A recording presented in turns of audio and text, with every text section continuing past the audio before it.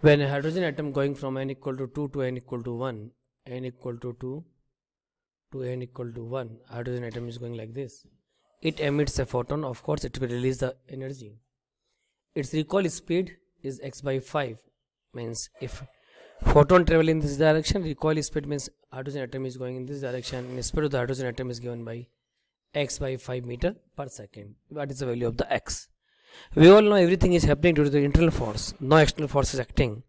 So when f external is 0 we all know very well momentum is conserved or constant. It means initial momentum equal to final momentum. Initial momentum is 0 because system is stationary or at rest. Final momentum both are moving opposite direction so i can say momentum of the photon and momentum of the hydrogen atom in opposite direction. Or we can say momentum of the photon is given by momentum of the hydrogen atom for the photon we know very well E equal to Pc so P is given by E by C. So momentum of the photon is E by C or delta E by C. Then momentum of the hydrogen atom that is mass into velocity. So recoil speed is given by delta E upon mc what is the value of the delta E? That is the energy gap between n equal to 1 and n equal to 2 is 10.2 electron volt.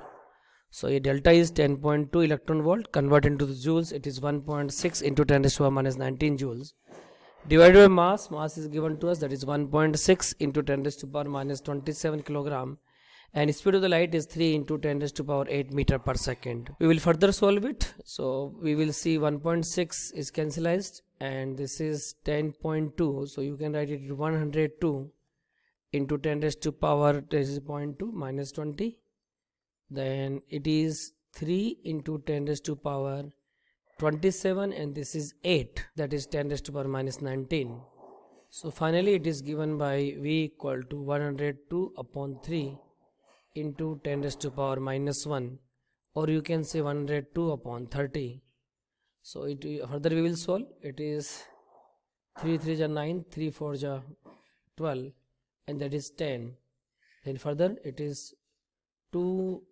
17 here it is 5 so 17 by 5 now you compare with x value is 17 so right answer of this problem is 17